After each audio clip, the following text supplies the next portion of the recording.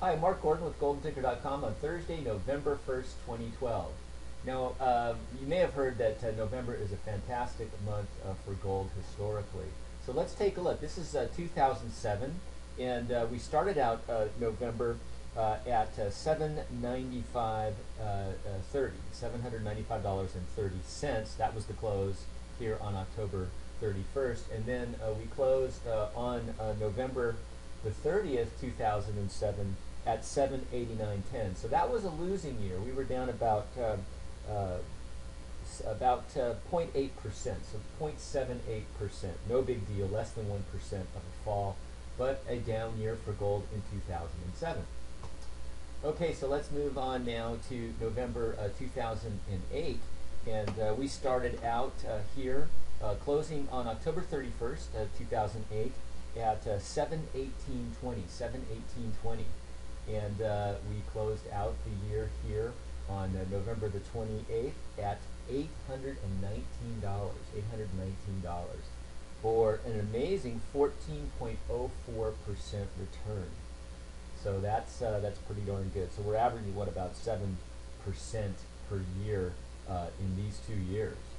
Okay, moving on now to 2009. Uh, gold closed uh, on October the 30th at $1,040 and 40 cents.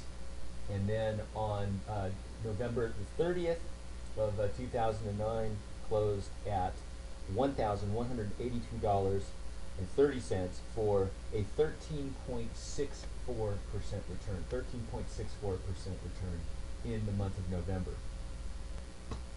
Okay, now moving on to uh, 2010 with the gold. Uh, we closed uh, uh October 29th at 1357 uh, 0.60, $1,357.60, and then uh, closed November 30th, 2010 at $1,386.10 for a 2.10% gain.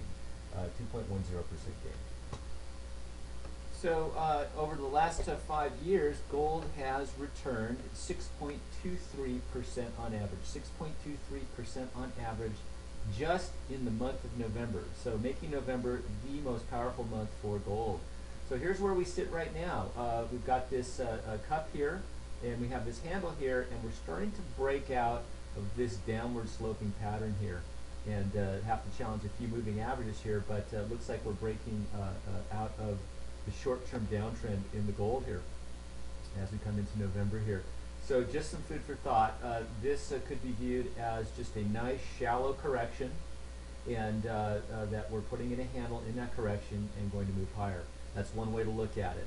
Uh, we have uh, broken the back of this downtrend here and now we're starting to break the back of this short-term downtrend here.